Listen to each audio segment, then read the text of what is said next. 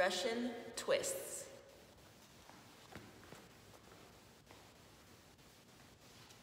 This exercise is for your abs and your core. Heels down on the ground, toes up, knees bent. Clasp your hands together.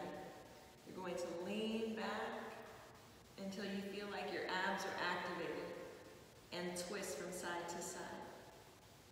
Good hard twist.